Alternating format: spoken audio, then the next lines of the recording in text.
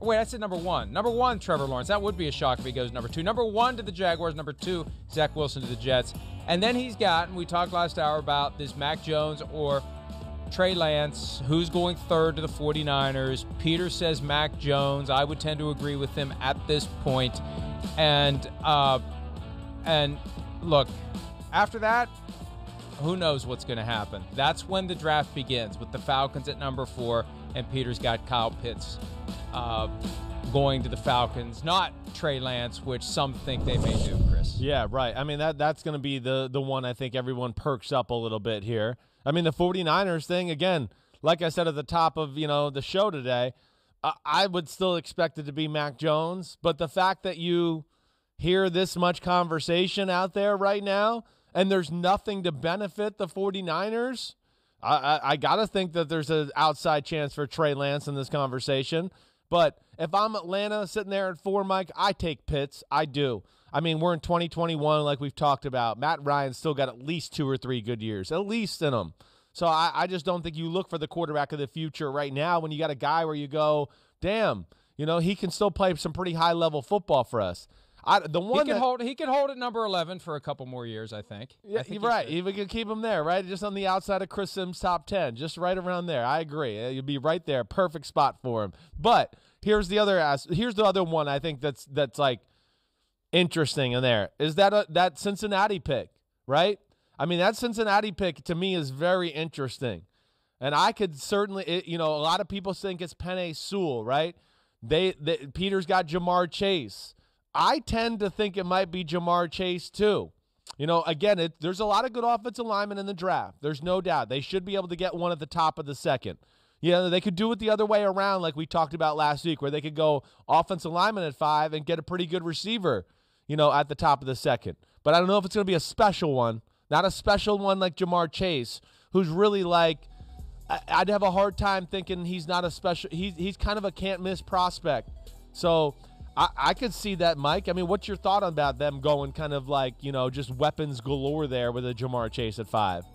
I, I have long believed that the Bengals, who are notoriously small C conservative, Yeah, they, they were going to go with Penei Sewell at left tackle. They had the bad experience four years ago with John Ross, the ninth overall pick, the receiver, the fast guy they took out of Washington, Right. and that didn't work out.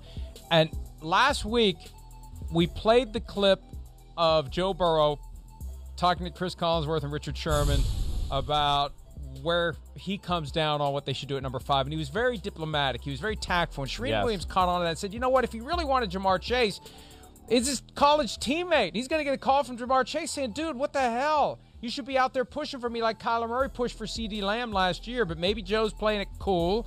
Joe's being coy. Joe doesn't want to blow up what he's got working behind the scenes. Maybe he is working on folks to take Ja'Marr Chase. Just like Justin Herbert wants to be reunited with Penei Sewell. You know, when you already know the guy, makes your life a lot easier. It's not some new personality you have to get acquainted with. Right. you know how receivers can be at Yeah. times. They can be a little difficult at times.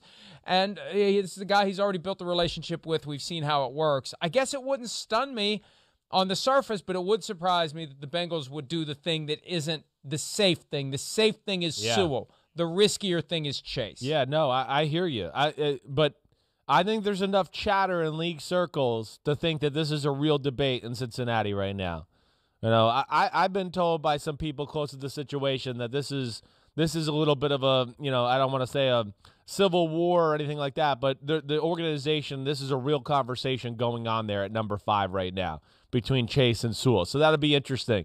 It really will be. I mean, you know, you you're right. You said a lot of good things there. There's no doubt about it. I would think Joe Burrow's not that type of guy. He's just not that type of guy that's going to put anything out there like that. And I think at base level, he's probably going to be happy with either one. Either one's going to help his life out greatly. But man, that chase, you know, you can almost take a little bit of a and I know the offensive line's not set up, but when you get Cincinnati and then you throw in Ja'Marr Chase with Tee Higgins and Boyd and Joe Mixon, you start to go, whoa, that's kind of a dangerous unit there. You start to think like maybe they could go Mahomes, Kansas City Chiefs type, you know, explosive offense. That's the interesting angle that jumps out to it about me, uh, to me.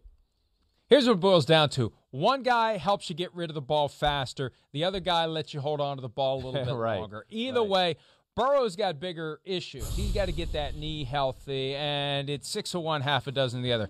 Chase is either going to pump up the receiving corps, or Sewell is going to help Joe Burrow avoid the kind of hits he was taking last year. Look at that. and, those uh, We'll see how that goes. Yeah, Yeah. I mean, those are they had a special connection. I, you know, this guy. This is where I just go. You know, again, like you know, Ja'Marr Chase. I mean, uh, you know, like you're talking about the the receiver who who ran the fast time. They drafted John Ross.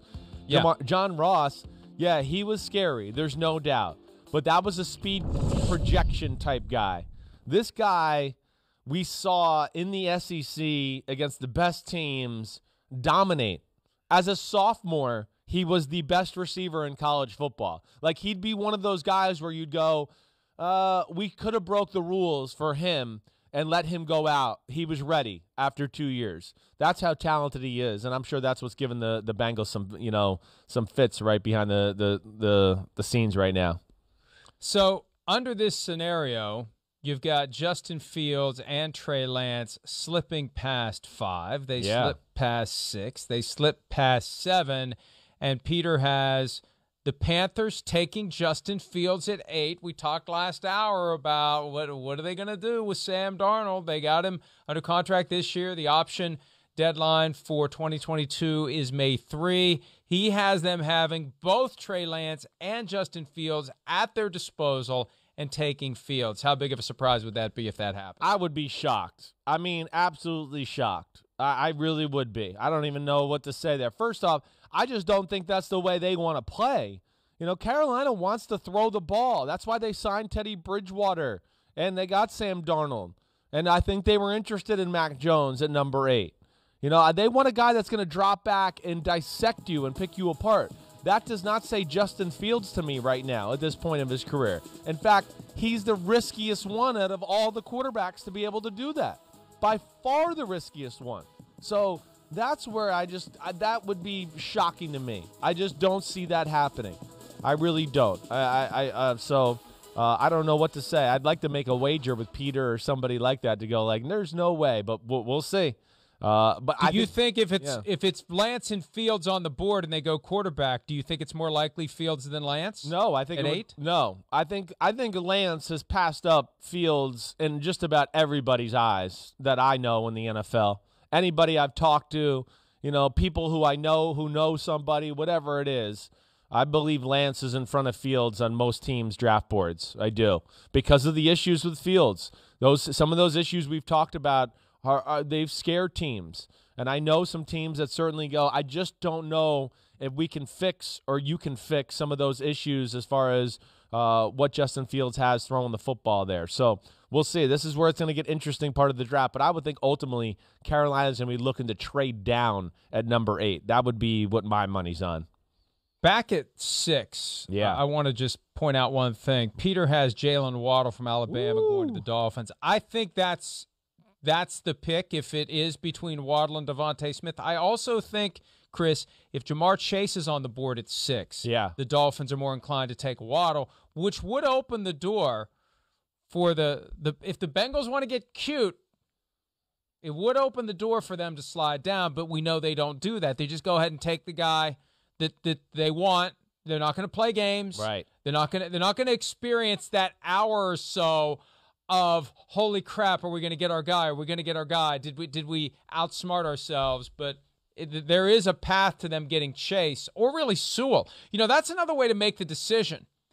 Let someone else make it for you. Yeah, right. Let's trade back a few spots and we'll take whoever's left. Yeah, no, you're you're you're they could play that game certainly, uh, but it's a risky game to play. It definitely is. And that, hey, that that wa- that Waddle conversation at number six that that's interesting. I mean, that really is. I like Waddle. I don't think he's in the class of Ja'Marr Chase and DeVonta Smith. I think he's a notch down. But I do know there's people in the NFL that look at him as being like the top guy there. So that'd be interesting to see with the Miami Dolphins. They have a real need at that position. So either way, I would think they're going some sort of pass catcher there at number six. I would be surprised if, if that wasn't the case. Peter does have, as he suggested on Friday on this program, five quarterbacks going in the top nine. That is unbelievable. Trey Lance would land to the Broncos under Peters' formulation. And then you get into the Cowboys. The first defensive player off the board, Patrick Surtain, the Alabama corner. Uh, and that's that's the safer pick. I know Jaycee Horn's doing everything he can to try to pump himself up as the better option, but Chris, as you say all along, you got to have straightaway speed. You got to be able to recover when the receiver runs past you, and you believe Surtain has that in uh, a yeah. better supply than Jaycee Horn. Yeah, definitely. I mean, I still even question that with Surtain, but you know, I, I understand Surtain being the number one corner in the draft. I do. I mean, it's clean. He's got everything you want. He fits what they would want to do in Dallas as far as that coverage, all that.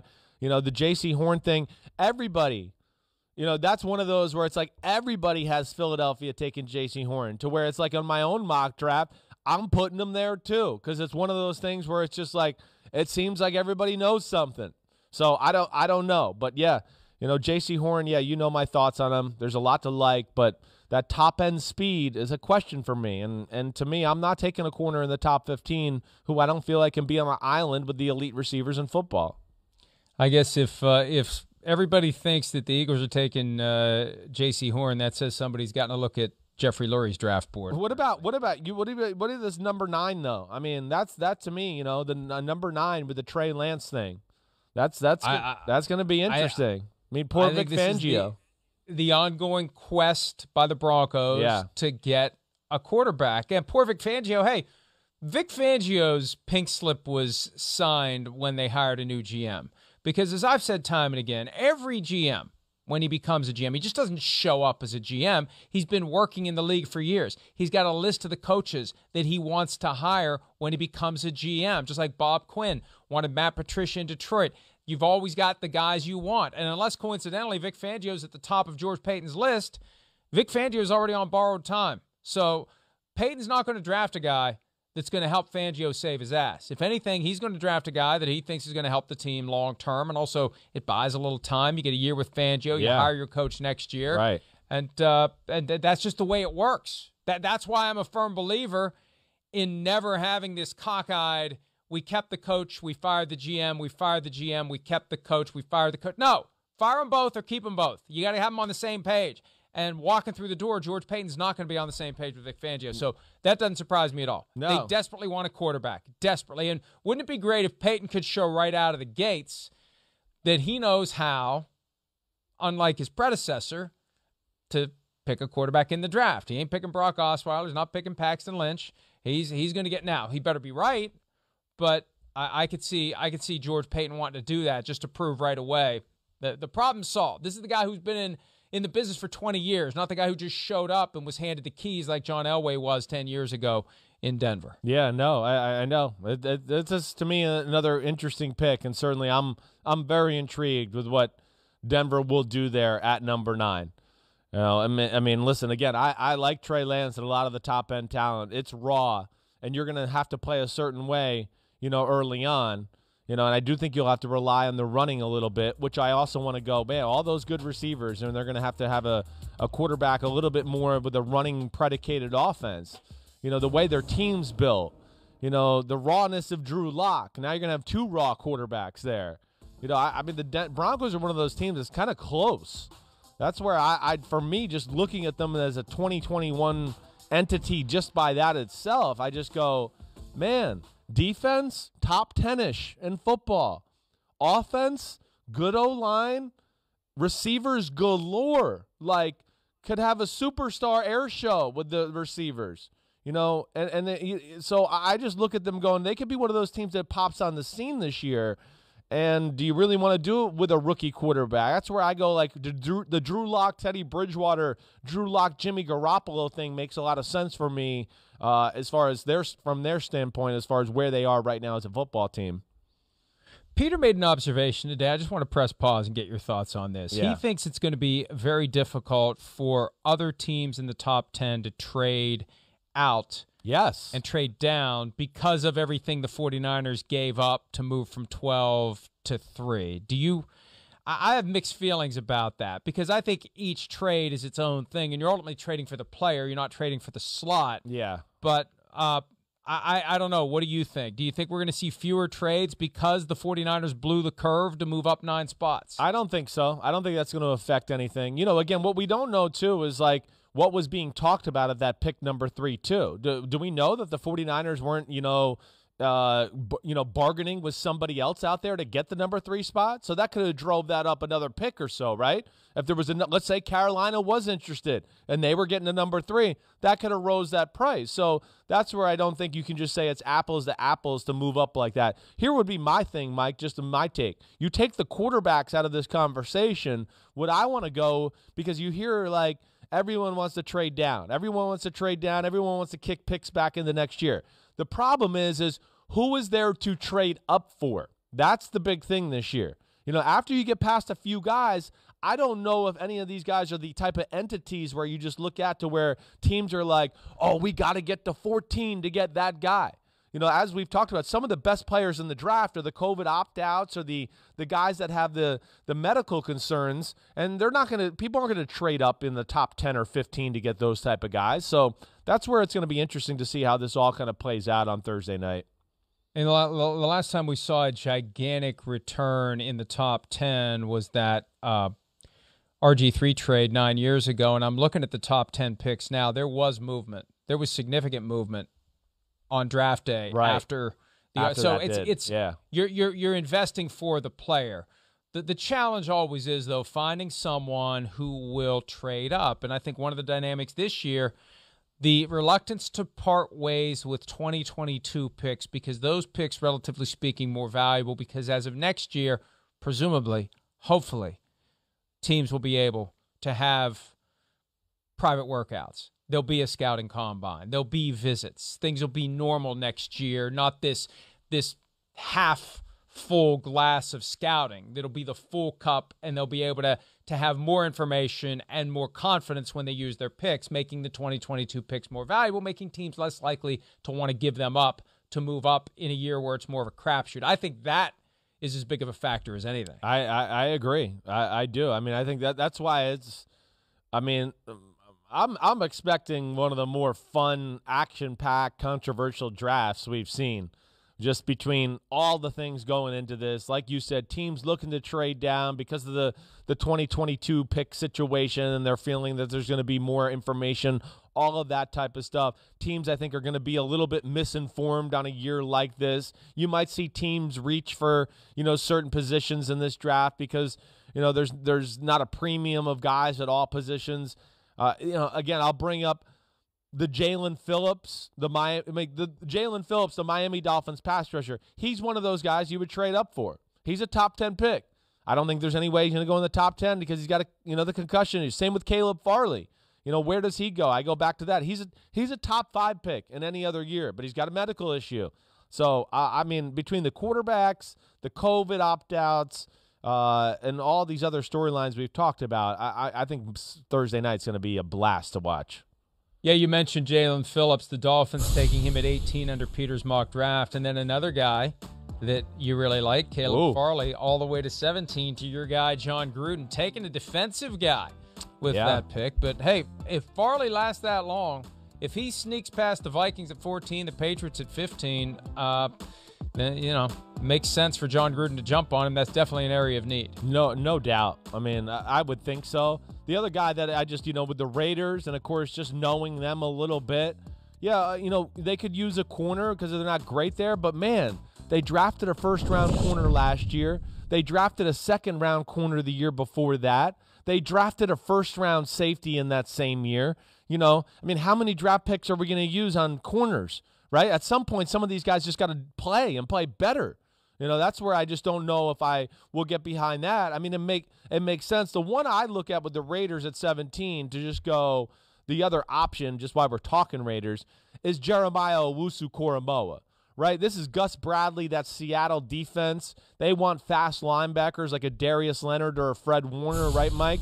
To me, that would be a guy where I could see you know that being another option for the Raiders. It's gonna I would think it's got to be defense. They need help on defense badly. It's crappy there in, in Oakland or in Las Vegas, excuse me. So uh, I wouldn't be shocked to see Farley, Owusu Koramoah, even maybe even a top edge pass rusher if they love to go there right now because they don't have that either. Five first round picks in the last two drafts, and and look, Josh Jacobs has been very good. Um, he, didn't necessarily have to be a first round pick. Henry Ruggs' jury is way way out. He's Yeah. got the potential, but you know, they, they really need to hit. Jury's out on all of them. They need to hit. Jury's out on all of them except for Jacobs, like you said. Yeah. You know, I mean, you know, Clelin Ferrell. I mean, the jury is out with Clelin Ferrell. He wasn't worth the number four pick. We know that. So yeah, this is a this is a big draft for for the Raiders to help their football team. You mentioned Owusu Koramoah. Peter has the Browns trading up Mm. from 26 to 21 to get him. And Andrew Berry, the GM of the team, explained on Friday to reporters they have a lot of flexibility. They, can, you know, like everybody else, as we've said, trade up, trade down, or use their pick. They can do that. Everyone can do that except the Jaguars who can't trade up. But if the Browns trade out around one, I, this is a very real dynamic Right. when you're hosting the draft. You have a lot of pissed off Cleveland people who've been sitting around all Yes. night long to see what the Browns are going to do at 26. You can't trade out around one. I, I you're Mike, you're right. You know, I, I saw that a little bit this weekend with Andrew Berry's quotes and like saying how he wouldn't be a fan favorite if that happened. No, you won't. I could say no. Not only will you be hearing boos or whatever else, then what's going to be worse is they're going to put under the microscope whatever you traded away and who you pick there is going to be even magnified even more because it's like, hey, wait, you screwed up our draft night, and now who did you screw it up for? It better work out. So, uh, but I could in Peter's scenario there again. That makes sense. Just like we were talking about with the Raiders, it's the same defensive scheme the Cleveland Browns are running. It's the Seattle scheme. Joe Woods came from the 49ers who run that. So they have a real need for that kind of guy, that speed linebacker. So from from Peter's standpoint there, there that's certainly logical. I get that all the way. And, you know, when you've got a great team like the Browns now do, and it's still hard to get your mouth to say that. Yeah, The brain sends the message. The Browns ain't the mouth. Browns. Browns have a great team. The Brown, they- they're in a position where this is a gravy pick for them. There isn't some, oh my God, you've got to address this. You're absolutely positively. No, they're they're in pretty good shape, and they can. And that's something that Andrew Berry said. They're they're they're in a spot where all their draft picks they can get guys that are going to develop. You know, this is the way it's supposed to go. You have a good team in place, good strong nucleus, and you develop behind them. And then as you make the strategic decisions to let some of those guys leave via free agency or trade them or whatever, you've got guys that you can put into those, and you just keep that conveyor belt going. Right, right. No, I, I'm. I mean, I'm. I'm with you. You're right. So they they got a hell of a roster, and that position, you know, maybe another defensive tackle. The only things you can really look at on their roster to go, okay, we need some improvement there. Everything else, they've done a phenomenal job. They really have. I mean, Cleveland's sitting pretty, so it'd be cool to see what they do. What do you think about the Patriots? 15th overall selection, 166 pounds soaking wet, DeVonta Smith. I, I, I just have a hard time thinking DeVonta Smith is going to be on the board still at that point. You know, I, I just know from from my own studies and just people I've talked to around the NFL, Mike, people are enamored with DeVonta Smith. Now, I mean, I know the weight thing is real. And the, like we talked about it last week, the little the scary thing is just like if he gets hurt, people are going to be like, I told you so. But that's the only thing. There's nothing to make you believe that. I mean, I I hear I've had some coaches tell me like, man, DeVonta Smith is as good as any receiver I've ever evaluated. So that's where I just don't see him being around at that point. Uh, but that would be, ooh, that would be interesting. You add him to that offense now with the two receivers they signed in free agency and that O line and Cam Newton. That could be scary. That could be scary speed coming out of uh, New England.